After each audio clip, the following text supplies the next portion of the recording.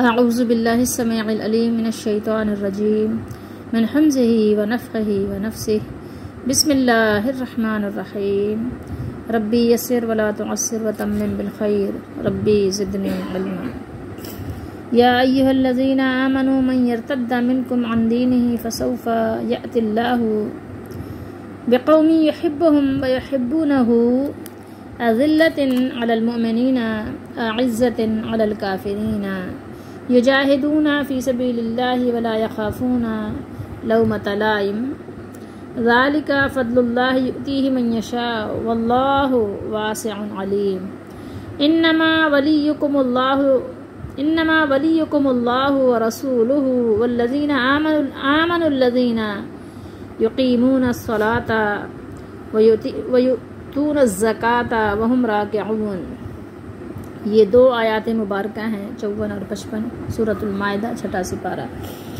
ए ईमान वालो, तुम में जो कोई अपने दीन से फिरे मैरतदा जो कोई मुर्तद हो जाए, मुसलमान होने के बाद फिर काफिर हो जाए, उसको मुर्तद कहते हैं। अपने दीन से फिरे, यानी दीन से फिर वापस हो जाए, लौट जाए।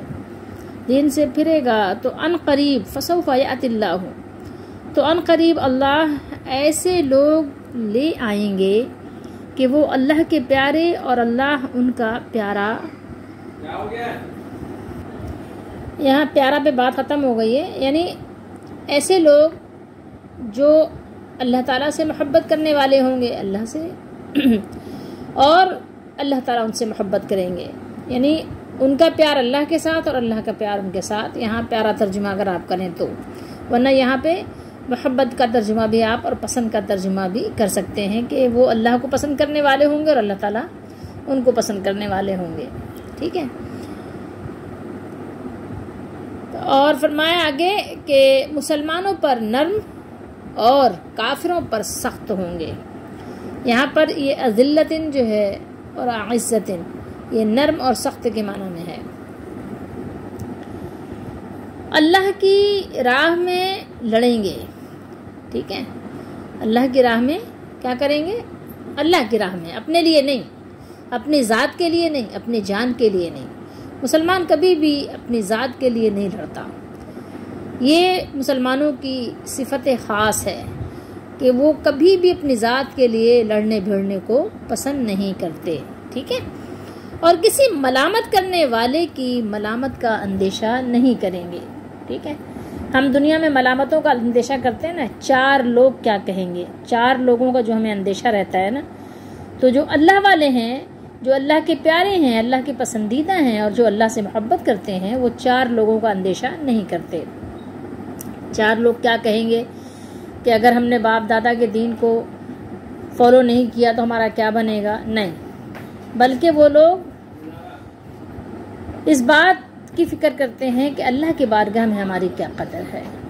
ये अल्लाह का फजल है, जिसे चाहे दे, यानी जिसे चाहे अल्लाह ताला ये चीज़ अता फरमाए, ठीक है? ये अल्लाह का ख़ास फजल है। ज़ाल का फजल्ला यूती है मैं शाह अल्लाह ताला अता फरमाते हैं अपने ख़ास फजल से जिसको चाहते हैं। अल्लाह ताला हम सबको भी उसमें शामिल फरमाए, जिन पर अल्लाह का ख़ास फजल हुआ है। और अल्लाह वसात वाला, इल्म वाला है, यानी अल्लाह ताला के पास वसात भी है और इल्म भी है। अल्लाह के पास इतनी वसात है कि आप तलब करें, आपको भी मिलेगा। ऐसा नहीं है कि अल्लाह ने इतने लोगों को दे दिया तो उसके यहाँ ख़त्म हो गया। नहीं है। ये वो स्कूल नहीं है कि जहाँ फ़र्स्ट, सेकंड, थर्ड को जो है वो शील्ड दे दी गई, फिर उसके बाद फिनिश। ठीक है? किसी को सर्टिफिकेट दिया गया, बाकी नहीं है। नहीं। और उसको इल्म भी है कि कौन इस काबिल है? उसके पास इसका भरपूर इल्म है, मुकम्मल कंप्लीट इल्म है। तुम्हारे दोस्त नहीं, मगर अल्लाह। दोस्त कौन है हमारा? हकीकी वली कौन है? ये वली युकुमुल्लाह हो हकीकी दोस्त सिर्फ़ कौन है? अल्लाह है। और अल्लाह ने किसको बनाया है? अपने रसूल को बनाया है। व रसूल हो उसका रसूल। यानी अल्लाह ताला के रसूल भी। और उसके साथ और कौन है? ईमान वाले। याद रखिए, ईमान शर्त है। ठीक है? कौन सा ईमान? वही ईमान, जो सहाबा कराम का ईमान था, उसी तर्ज पर ईमान लाना है, उसी तरीके से अपने अकीदे रखने हैं, ईमान वाले। और फरमाया आगे कि नमाज़ कायम करते हैं तो अब आप तो कहेंगे नमाज़ तो सब कायम करते हैं। कौन सा ऐसा फ़िरका है जो नमाज़ नहीं पढ़ता? यहाँ पे देखिए असलाता फरमाया, ठीक है? सलाता नहीं है। नमाज़ कायम करते हैं, वो नमाज़ जो रसूलुल्लाह सल्लल्लाहु अलैहि वसल्लम ने सिखाई है। वो नमाज़ जो सल्लल्लाहु अलैहि वसल्लम अदा फरमाते थे। वो नमाज़ जिस तरह रसूलुल्लाह सल्लल्लाहु अलैहि वसल्लम अदा फरमाया करते थे। असलाता नमाज़ कायम करते हैं। हर नमाजी नहीं है। ठीक है? नमाज़ तो सारे ही पढ़ रहे हैं। सारे से मुराद ये है कि हर फ़िक़े के ज़ाहिर है, कुछ लोग तो नमाज़ पढ़ने वाले होते हैं ना, कुछ नहीं भी पढ़ते तो क्या हो गया? ठीक है। लेकिन ये हर नमाज़ की बात नहीं हो रही। नमाज़ वो जो रसूलुल्लाह सल्लल्लाहु अलैहि वसल्लम ने सिखाई है, पढ़ाई है, पढ़ी है। और ज़क़़त देते हैं, ठीक है? ज़क़़त भी वही वही तरीक़ा है, वही अंदाज है जो रसूलुल्लाह सल्लल्लाहु अलैहि वसल्लम ने सिखाया। ख़ास, यानी अलिफ्लाम के साथ हो गया। और ज़क़़त देते हैं, और अल्लाह के हुजूर क्या करते हैं? झुके हुए हैं, ठीक है? फर्मा बरदार हैं। हर वक्त अल्लाह ताला की फर्मा बरदारी के लिए एक्टिव हैं। और और वो जो अल्लाह और उसके रसूल और मुसलमानों को अपना दोस्त बनाए। तो बेशक अल्लाह ही का गिरोह गालिब है गालिब ईमान वालो अच्छा बहुत माजरत, हमारी आयत यहाँ कंप्लीट हो गई थी। हमने ये आगे तर्जुमा अजाफी तौर पे पढ़ लिया इन आइंदा। अब ये देखिए यहाँ से ए ईमान वालो तुम में कोई अपने दीन से तुम में जो कोई अपने दीन से फिर जाए, वापस हो जाए, यानी कोई मुर्तद हो जाए ना। यहाँ पर फरमाया, कोई दीन से मुर्तद हो जाए। इस करीमा में मुखलिस मुसलमानों को इतमान दिलाया जा रहा है कि तुम्हारी सफ़ों में छुपे हुए मुनाफिक अगर आलानिया कुफर अख्तियार कर लें तो भी इस्लाम का चराग रोशन रहेगा। उनकी जगह उनसे बेहतर जहीन, फ़हीम और मुखलिस लोग इस्लाम को कबूल करेंगे और उसकी अजमत को चार चाँद लगा देंगे।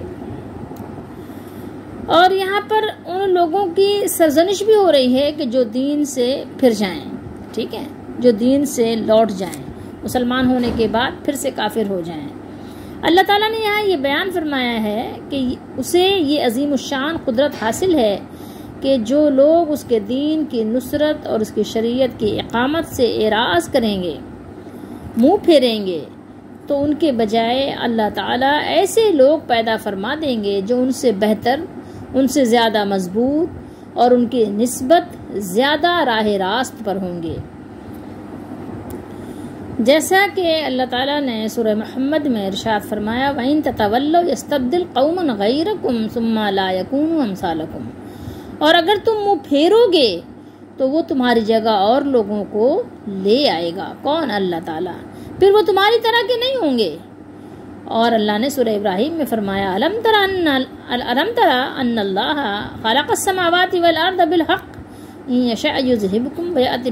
जदीद। क्या आपने नहीं देखा कि बेशक अल्लाह ने आसमानों और ज़मीन को हक के साथ पैदा किया है? अगर वो चाहे तो तुम लोगों को क्या कर दे? नीस तो नाबूद कर दे? और तुम्हारी जगह नई मखलूक पैदा कर दे और ये अल्लाह को कुछ भी मुश्किल नहीं। यानी ऐसा करना अल्लाह ताला के लिए कुछ भी दुश्वार और मुश्किल काम नहीं है, बहुत आसान है अल्लाह के लिए। तो इसी मजमून की ये बात भी है, यानी इस मजमून के, को अल्लाह ताला ने कई तरीके से कुरान मजीद में बयान फरमाया है। यहाँ बयान किया कि अगर कोई तुम में से अपने दीन से वापस लौट जाए, हक को छोड़कर बातिल की तरफ़ वापस हो जाए तो ये वो ना समझे कि उसने कोई बहुत अच्छा कारनामा किया, बल्कि वो बहुत बड़ा बदनसीब है कि जिसको दौलत मिले और उस दौलत को ठुकरा दे, उससे फ़ायदा ना उठाए। है कि नहीं? आप दुनियावी लिहाज से क्या कहेंगे? किसी को बड़ा अहदा मिल रहा हो, है? किसी को आप डायरेक्टर बनाया जा रहा हो और वो उसको ठुकरा दे, चला जाए तो आप कहेंगे, यार, कैसा बदअल इंसान है ये। इसको इतना बड़ा अहदा मिल रहा था और इसने क्लर्क होने को यानी तरजीह दी, कोई भी दुनिया में ऐसा नहीं करता। जो ज़रा सा भी जी शूर हो तो कभी भी ऐसा नहीं करेगा कि उसको डायरेक्टर का अहदा मिल रहा हो, या चेयरमैन का अहदा मिल रहा हो, और वो कहे, नहीं यार, मुझे क्लर्क बना दो, या मुझे वो बना दो जो चाय पिलाते हैं। ठीक है? कभी भी ऐसा नहीं करते। तो ज़ाहिर है, उससे बढ़कर बदनसीब कौन होगा कि जिसको दीन ईमान की दौलत मिल गई, जिसको हमेशा की ये नहीं कहना चाहिए, डिग्री मिल गई, जन्नत जैसी अजीम शान नेमत मिल गई, और वो उसको ठुकरा के दो को इख्तियार कर ले तो उससे बड़ा बदनसीब कौन होगा? तो यहाँ पर उन, उनको खिताब किया जा रहा है और ये खिताब आम है हर एक के लिए है और ता क़यामत है। यानी जब तक के क़यामत की वो बड़ी निशानियाँ नमूदार नहीं होंगी जब तक कि मुसलमान अल्लाह को याद करने वाले सही दीन को कायम करने वाले रहेंगे तो ये उस वक्त तक के लिए है। ये नहीं है कि कोई ख़ास वक्त के लिए ये बात है। ठीक है कि नबी करीम सल्लल्लाहु अलैहि वसल्लम के ज़माने में भी ये इस तरह के मामला थे, सहाबा के ज़माने में भी थे, लेकिन ऐसा नहीं है कि आज के ज़माने में नहीं है और बाद में नहीं होगा। नहीं, आज के ज़माने में भी है और आइंदा भी होगा, ठीक है? कि जब तक के ईमान इस्लाम है, जब तक के ये मामला होते रहेंगे तो ये खिताब आम है और क़्यामत तक के लिए है। तो फिर अल्लाह ताला जल्द ऐसे लोग ले आएँगे कि वो उनसे मोहब्बत करेंगे। वो लोग किससे मोहब्बत करेंगे? अल्लाह से मोहब्बत करेंगे, ठीक है? और वो उससे मोहब्बत, अल्लाह ताला उससे मोहब्बत करेंगे। वो लोग अल्लाह ताला से मोहब्बत करेंगे और अल्लाह ताला उनसे मोहब्बत करेंगे। ऐसे लोग आ जाएँगे। ये रिप्लेसमेंट का सिलसिला चलता रहेगा।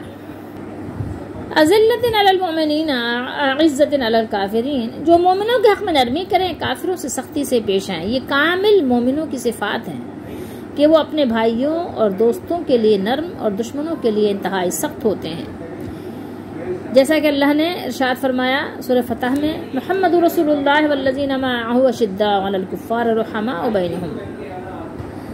युजाहिदूना फ़ी सबीलिल्लाहि, अल्लाह की राह में जिहाद करें और किसी मलामत करने वाले की मलामत से ना डरें। यानी इतात इलाही, अल्लाह की इतात करने में इकामत हदूद जो अल्लाह की हदें हैं, उसको कायम करने में दुश्मनों से अल्लाह की राह में लड़ने से, उसके अलावा अच्छाई का हुक्म देने से, यानी अमर बिलमारूफ और बुराई से मना करने से नहीं, अनिल मुनकर।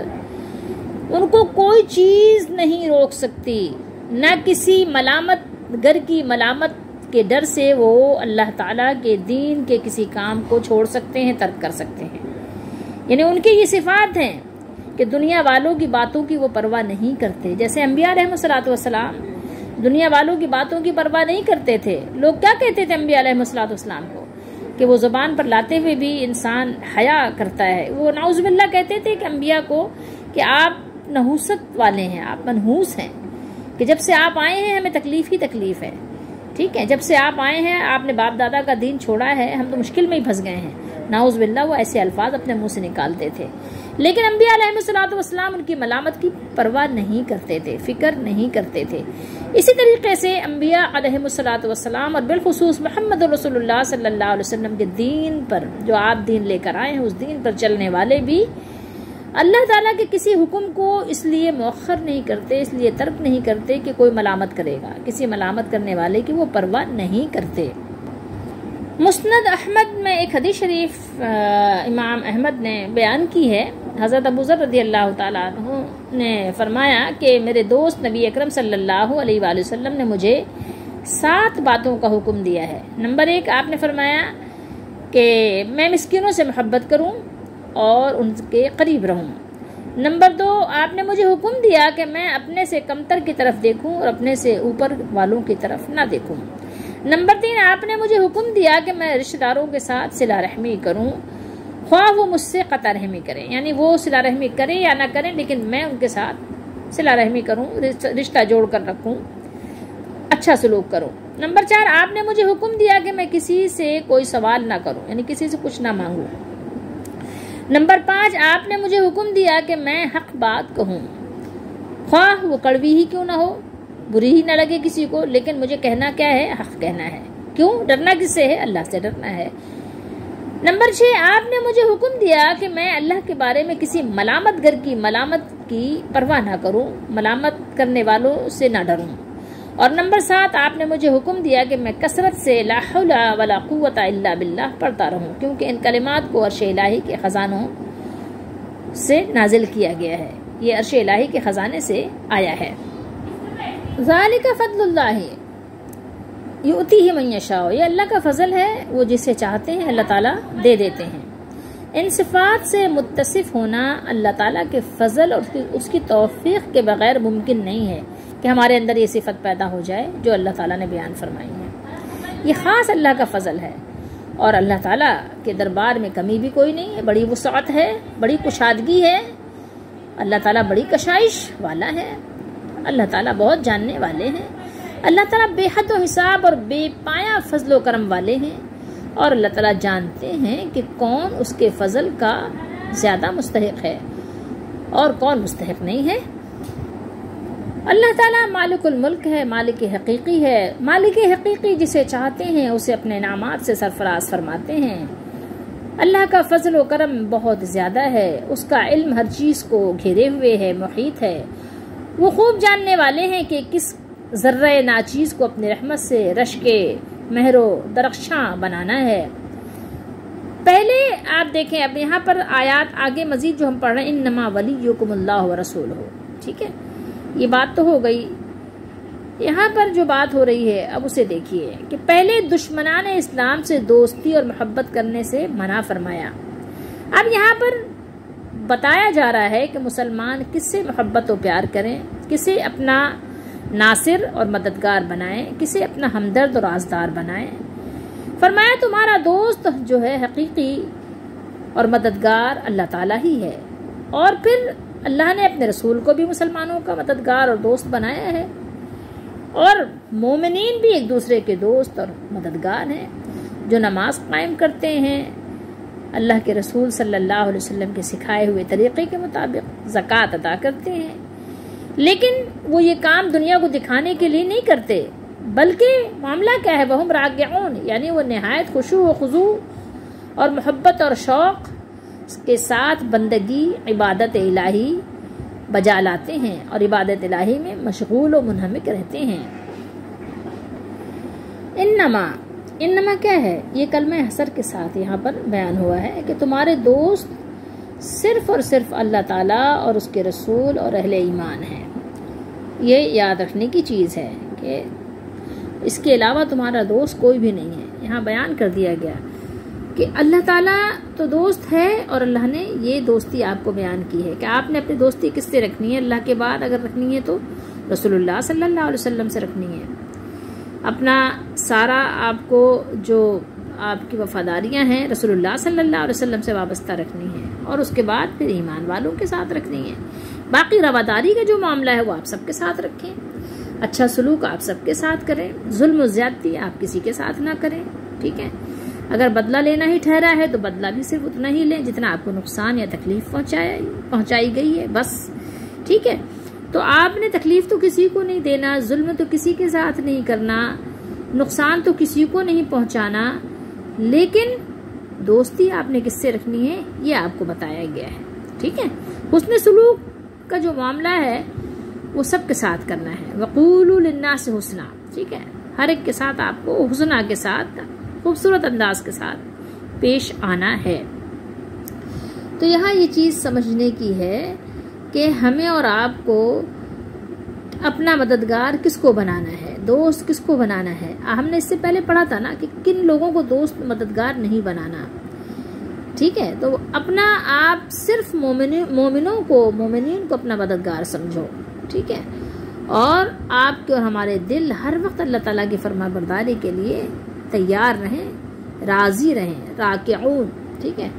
रुकू तो आप जानते हैं, रुकू की जमा है ना, ये राके, राकऊन जो है यहाँ जमा का सीखा है।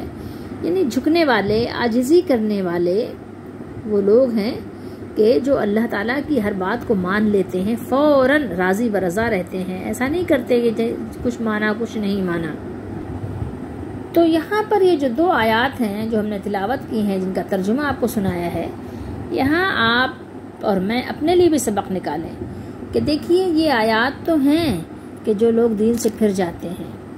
हज़रत अबू बकर सिद्दीक़ रदी अल्लाह तु के ज़माने में नबी करीम सल्लल्लाहु अलैहि वसल्लम के दुनिया से रुखसत हो जाने के बाद बहुत से लोग दीन से फिर गए थे। वो किस तरह फिरे थे? उन्होंने कहा था नमाज़ पढ़ेंगे, ज़क़़त नहीं देंगे। तो हज़रत अबू बकर सिद्दीक़ रदी अल्लाह तु ने उनसे जिहाद किया था। किया था ना? पढ़ा होगा। बुखारी शरीफ वगैरह में अहादीस बहुत ज़्यादा हैं। तो उनसे जिहाद किया था, हज़रत सिद्दीक अकबर दी अल्लाह तु ने। तो अब आप बताइए कि उन्होंने ज़क़़त से इनकार किया तो उनसे जिहाद किया गया कि ज़क़़त आप क्यों नहीं देंगे? बल्कि तो हज़रत अबू बकर सिद्दीक रदी अल्लाह तु ने यहाँ तक बयान किया कि अगर आप एक ऊँट बांधने की रस्सी भी नहीं देंगे, फिर भी हम आपसे जिहाद करेंगे। क्या आप क्यों नहीं देंगे जो रसूलुल्लाह सल्लल्लाहु अलैहि वसल्लम के ज़माने में देते थे? और अभी भी आप, यानी साहिब निसाब हैं तो अब आप क्यों नहीं देंगे? तो फिर भी हम आपसे जिहाद करेंगे। यानी दीन का मामला आप देखें कि कोई ऐसा हल्का नहीं है। इतना, जितना हल्का हमने और आपने समझ लिया है। यानी ज़क़़त प्रॉपर तरीके से पाबंदी से अदा करनी है। ठीक है? ज़क़़त नहीं अदा करने वाला भी मुसलमानों की फहरिस्त से खारिज है। जब भी तो हज़रत अबू बकर सिद्दीक अल्लाह से उनसे जिहाद किया। वरना जिहाद का क्या कॉन्सेप्ट था उनके साथ? कलिमा तो वो पढ़ते थे। नमाज़ तो वो पढ़ते थे। अब आप बताइए ज़रा, थोड़ी देर के लिए आप गौर कीजिए कि क्या वो कलमा नहीं पढ़ते थे? ला मोहम्मद रसूलुल्लाह के इनकारी थे? क्या वो नमाज़ पाँच वक्त नहीं अदा करते थे? सब कुछ करते थे। सिर्फ़ ज़क़़त देने से इनकार किया था। तो उनको मुर्तद करार दे दिया गया कि वो मुर्तद हो गए। और उनसे जिहाद जो है, वो क्या हो गया? जायज़ हो गया। तो अब आप सोचिए थोड़ी देर के लिए कि हमारे ज़माने में कितने लोग ऐसे हैं कि जो दीन की कुछ बातों को मानते हैं, कुछ को नहीं मानते। तो आप क्या समझते हैं कि वो मुसलमान हैं? क्योंकि वो कलिमा पढ़ते हैं? तो इसलिए आप उनको कहते हैं कि मुसलमानों की फहरिस्त में कैसे? बहुत सारे अरकान से इनकारी हैं। कभी वो कौली भी इनकारी होते हैं और अमली तो बहुत सारे इनकारी वो हैं ही। कितने ऐसे लोग हैं जो रोज़े नहीं रखते? कितने ऐसे लोग हैं जो नमाज़ नहीं पढ़ते? अब आप क्या कहेंगे? जो नमाज़ नहीं पढ़ते, वो कलिमा पढ़ते हैं? आप क्या आपकी ख्याल में क्या है कि वो मुसलमान है? नहीं है। और इसमें एक गौर करने की और भी चीज़ है कि अल्लाह से कैसी मोहब्बत है कि उसके हुक्म को ही पीछे डाल दिया। उसकी बात ही नहीं मानते। मोहब्बत का चर्चा बहुत है कि हम मोहब्बत करने वाले हैं। जिससे भी पूछो, ज़ाहिर है कि सबसे प्यारा उसके लिए अल्लाह ही होगा, लेकिन अल्लाह ही की बात नहीं मानते। तो अल्लाह ने फरमाया कि हम ऐसे लोग अनकरीब ले आएँगे जो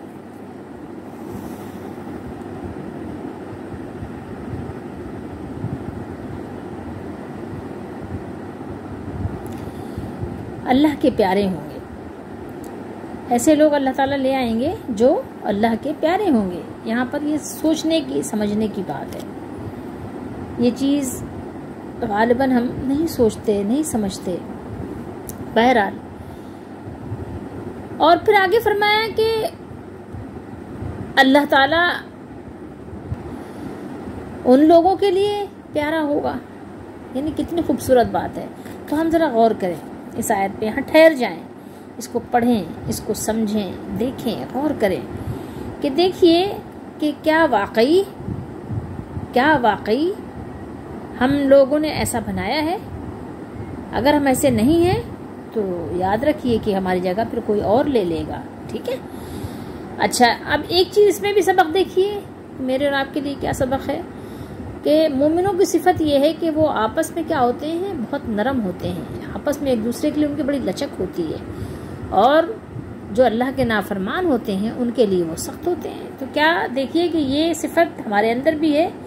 ये क्वालिटी ये खूबी हमारे अंदर है। अगर नहीं है तो यहाँ यहाँ पर भी आपको रुक के, हमें और आपको रुक को ठहर कर सोचना है, समझना है, गौर करना है कि अगर हमारे अंदर ये सिफात नहीं है तो ज़ाहिर अल्लाह के प्यारे कैसे बनेंगे? सिर्फ़ दावे से तो मामला नहीं हल होगा ना? तो ये चीज़ भी यहाँ हमें सबक के लिए दावत दे रही है कि अपने लिए सबक ढूंढो, ठीक है? अच्छा ये आयत मुबारक का ये हिस्सा जो है, ये भी बहुत ज़्यादा हमें, वला खाफूना लव मतलाइम हमें चार लोगों की बड़ी फ़िक्र होती है, परवाह होती है। कहीं हमारी इंसल्ट ना हो जाए, कहीं हमारी तोहन ना हो जाए। हमारी कहीं हमारी इज़्ज़त में कमी ना आ जाए।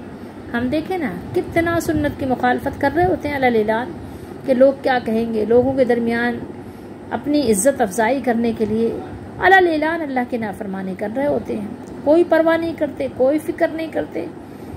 कभी आपने इस पर गौर किया कि आपको मुझे इस बात की परवाह नहीं कि अल्लाह ताला की तरफ़ से हमारे ऊपर मलामत होने लग जाए, अल्लाह की लानतें बरसने लग जाएँ, फरिश्ते लानतें करने लग जाएँ।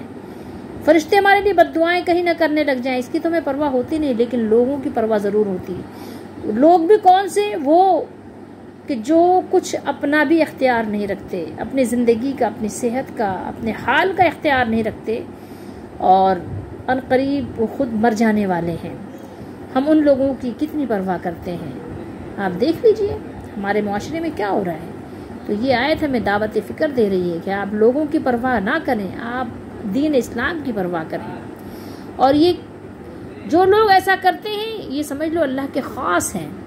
ये आम लोग नहीं हैं, ये अल्लाह के ख़ास फ़ज़ल वाले लोग हैं। और ये फ़ज़ल अल्लाह ताला उनको देते हैं, जिसको अल्लाह ताला को मालूम है कि ये फ़ज़ल के मुस्तक हैं, हकदार हैं। फिर ये देखिए कि हमने दोस्तियाँ किससे की हुई हैं? इसमें भी हमारे लिए सबक है। कभी हम दोस्ती इसलिए करते हैं कि डॉक्टर साहब हैं, हमारे वक्त ज़रूरत बीमारी में, दुख सुख में काम आएँगे। कभी हम इसलिए दोस्ती करते हैं कि ये मालदार हैं। कभी हमारे जो है वक्त, ज़रूरत, ये काम आएँगे। कभी कर्ज़ दे देंगे, कभी सदका, खैरात दे देंगे। बहरहाल तो हमारी दोस्तियाँ किस तरह की होती हैं? इस पर भी हमें गौर करना चाहिए। बहुत ज़्यादा गौर करना चाहिए। हम दुनिया का स्टेटस देख कर दोस्ती करते हैं, ठीक है? जबकि हमें हुक्म दिया गया कि गरीबों, फरीकों, फ़कीरों से मोहब्बत करो। उनसे गुर्बत अख्तियार करो। उनको अपना दोस्त बनाओ। गरीबों फ़कीरों से मुराद यहाँ पे वो नहीं है कि जो आप देख रहे हैं कि भिकारी उनकी बात नहीं हो रही है। ये फ़करा वो हैं जो अल्लाह वाले हैं, जिन्होंने अल्लाह ताला के लिए दुनिया को अहमियत नहीं दी, क्योंकि ज़ाहिर है दुनिया देखे गंदगी से भर गई है। इसलिए वो दुनिया को अहमियत नहीं देते और दुनिया जमा नहीं करते। ज़्यादा दुनिया जमा करना ये अच्छी अलामत नहीं है। आप देख लें अम्बिया की सुन्नत क्या है। तो वो इस बात की भी लोगों की परवाह नहीं करते कि वो मलामत करेंगे कि भाई ये तो फ़कीर है, हैं? देखिए भिकारी और फ़कीर में फ़र्क होता है, इस बात को हमेशा याद रखिएगा। उनकी दोस्तियाँ होती हैं कि ज़ाहिर है, नेक लोगों के साथ। फ़करा है तो क्या हो गया? जैसे रसूलुल्लाह सल्लल्लाहु अलैहि वसल्लम के पास वो बैठते थे, वो भिकारी नहीं थे, वो फ़करा थे, फ़कीर थे। जैसे मूसा ने अल्लाह से दुआ की थी, रब्बी इन्नी लिमा अनजल तैया मिन खैरन फ़कीर मैं आपके खैर का फ़कीर हूँ। ठीक है? जैसे अल्लाह ने फरमाया युहन्ना संतमुल फ़करा. लोगो तुम सब अल्लाह के फ़कीर हो। तो नबी करीम सल्लल्लाहु के पास भी ऐसे फ़करा बैठते थे। जो आठ आठ दिन एक ही लिबास को पहने रहते थे, पसीने की बू से भर जाता था। लेकिन अल्लाह ने फरमाया, इनको आप अपने आप से दूर न कीजिए। क्यों? इसलिए कि वो अल्लाह वाले थे। उनका सारा मामला अल्लाह के लिए था, ठीक है? तो वो अल्लाह से मोहब्बत करते थे रसोल्ला से मोहब्बत करते थे, ईमान वालों से दोस्तियाँ लगाते थे तो उनको दूर करने का हुक्म नहीं है। उनको करीब करो, उनसे करीब रहो। लेकिन हमारा मामला इसके उलट है, ये हमें गौर करना चाहिए। फिर नमाज़ की बारी आई, नमाज़ देखिए तो नमाजें भी हम कैसी पढ़ते हैं? जो बस सिखा दी गई हैं, जो दिखा दी गई हैं, बस वही पढ़ते हैं। रसोल्ला अलैहि वसल्लम की नमाज़ हम में से कितने लोग पढ़ते हैं? रसोल्ला सल्ला वसल्लम रफ़ादैन करते थे कितने सहाबा से ये हदीस मजकूर है, लेकिन लोग नहीं मानते। कहते हैं, नहीं, हमारे हमारे इमाम ने ये कहा है, बस जो हमारे इमाम ने कहा है हमने उन्हीं को फॉलो करना है। तो अब आप सोचिए कि एक आपने सबसे बड़े इमाम को छोड़कर आपने अपने इमाम को बना लिया। किसी ने कहा कि मनसूख हो गया, किसी ने कुछ कहा, किसी ने कुछ कहा। अच्छा अभी बताइए कि अगर ये कि रफ़ादैन करना मनसूख ही है और आमीन बिलजहर मनसूख ही है तो फिर आप क्यों कहते हैं कि चारों इमाम सही हैं? चारों इमाम सही हैं तो इमाम शाफई, तीनों इमामों के नज़दीक तो यही है ना कि रफ़ादैन करते हैं। अगर मनसूख है तो क्यों है फिर? फिर आप माने कि वो मनसूख चीज़ को फिर नासिक कर रहे हैं? फिर आप माने कि वो आमीन बिल जहर को इन्हें गलत कर रहे हैं? यानी तीनों इमाम फिर सही तो सही तो नहीं हुए? खुद ही आप देखें ना, आप खुद फैसला करें, दूसरा कोई क्या फैसला करे? तो नमाज़ भी रसोल्ला सल्ला वसलम के तरीक़े पर पढ़नी है सीखिए कि रसोल्ला सल्ला के बाद साहबा ने जब नमाज़ सिखाई तो कौन सी नमाज़ सिखाई? क्या उसमें रफ़ायदैन सिखाया कि नहीं सिखाया? अगर मनसूख था तो क्यों सिखाया फिर? ठीक है? इसी तरीके से ज़क़़त का मामला है। ज़क़़त अदा कीजिए। ज़क़़त हमें कितनी देनी है? कैसे देनी है? किसको देनी है? उसका तरीक़ार पूरा सही तरीके से मालूम कीजिए। और फिर अल्लाह ताला के फर्मा बरदार बनकर ज़िंदगी गुजारिए। हर वक्त फर्मा बरदार रहिए। जो हुक्म मिले फ़ौर मान लीजिए फ़ौर अतात इतात बजा लाने की भरपूर कोशिश कीजिए। जहाँ कहीं कोताही हो जाए फ़ौर इस्तफ़ार कीजिए, तोबा कीजिए। फ़ौर रुजू अल्लाह हो जाइए, ठीक है? और हर बात मान लीजिए, कुरान की और सुन्नत की। अपनी मर्ज़ी ना चलाइए। अपनी मर्ज़ी चलाने में बड़ा नुकसान है। बड़ी बदनसीबी है। अल्लाह ताला हम सबको समझने की तोफ़ी दे और हमारी दस्तगीरी फरमाए, हमारी रहनुमाई फरमाए।